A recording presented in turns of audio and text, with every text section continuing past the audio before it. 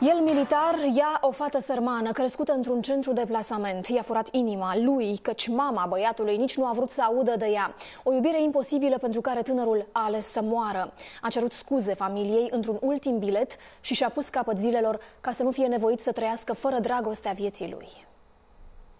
În ultimul timp am avut ceva în suflet. Am ținut ascuns. În mine se dădea o luptă grea pe care nu am vrut să o arăt. El a fost băiat cu minte. Mami, tati, Cipri, iertați-mă. Să știți că vă iubesc.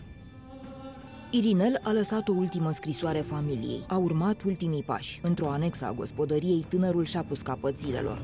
Dimineața, la 8, când a ieșit el afară, s-a dus la găsit acolo.